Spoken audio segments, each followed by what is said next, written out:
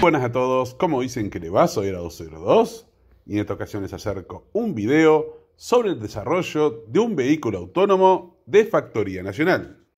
Este vehículo autónomo de exploración está siendo desarrollado por la Dirección General de Investigación y Desarrollo del Ejército Argentino en conjunto con la Facultad de Ingeniería del Ejército y obtiene su financiación por el programa PIDEF 2016 y Innova 2020, con un monto asignado de 3.940.582 pesos. Según la última presentación de dicho proyecto, se lleva ejecutada el 98% de la investigación y desarrollo del mismo, teniendo como objeto desarrollar un vehículo autónomo de defensa para ser destinado al transporte de carga. El transporte de carga es solo una parte de las posibilidades y beneficios, así como la aplicación de un sistema como este. Con algunas modificaciones, en el campo de batalla moderno, permitirá también a las tropas avanzar en la zona de conflicto, detectar los movimientos de tropas hostiles, sin necesidad de poner en riesgo el recurso más preciado, que es la vida del propio soldado.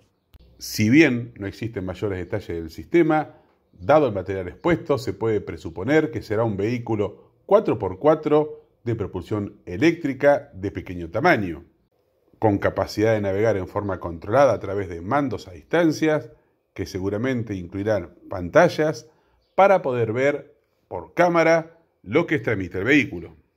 Este sistema no solo permitirá el transporte, además de explorar sin arriesgar vidas, sino que también puede ser utilizado para descontaminación nuclear, radiológica, biológica o química, detección de dispositivos explosivos improvisados, los famosos IED, entre otras funciones. Y en un futuro, con más inversión, también se lo podría dotar con sistemas para ataques, como podrían ser una torreta con una ametralladora pesada, lanzancohetes, misiles, entre otros sistemas de armas. Y bueno, gente, este es el cortito de hoy. Si bien por ahora se encuentra en etapa de desarrollo, casi terminado, pero en desarrollo, es bueno ver que se trata desde la fuerza en actualizarse a la realidad del campo de batalla moderno.